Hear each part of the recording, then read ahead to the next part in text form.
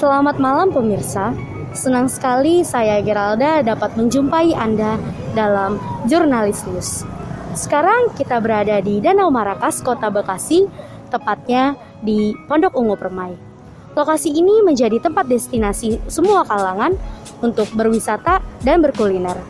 Untuk informasi lengkapnya, yuk kita simak informasi untuk Anda.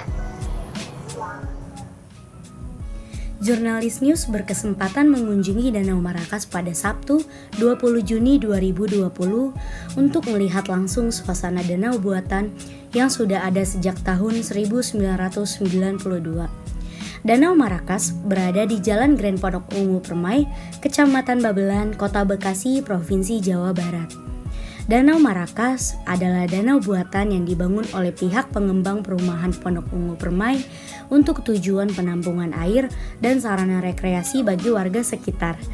Namun pada kenyataannya, banyak juga warga dari daerah lain yang datang ke danau cantik ini untuk berburu kuliner dan rekreasi. Anda juga bisa berwisata kuliner di sekitar Danau Marakas.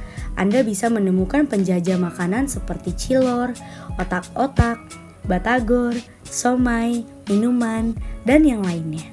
Namun, masih ada kekurangan yang bisa diperbaiki di sana-sini, terutama soal kerapian lapak pedagang di sekitar danau dan juga kebersihannya.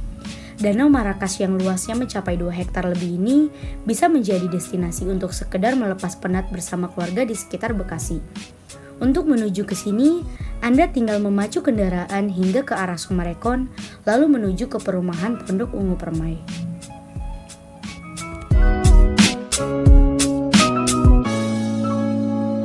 Sekarang kami ingin mewawancarai salah satu pedagang di daerah Danau Marakas ini. Baik, dengan Mas siapa?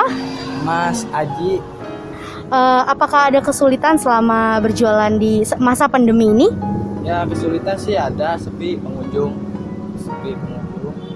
Ya itulah berkurang pendapatan. Oh, baik berkurang pendapatan sepi pengunjung.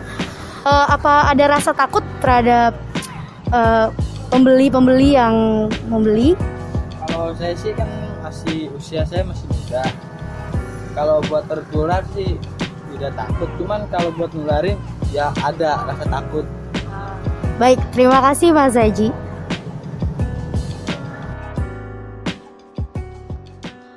Setelah itu kami akan menemui salah satu pengunjung di Danau Marakas ini. Dengan Mas siapa? Lovel.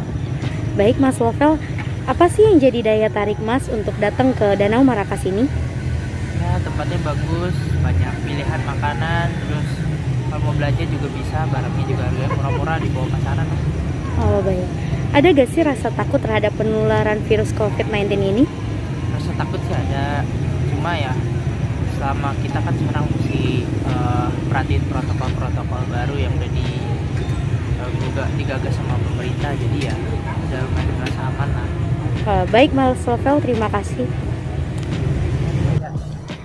Demikian yang dapat saya sampaikan. Saya Geralda dan rekan kerja yang bertugas melaporkan untuk Jurnalis News.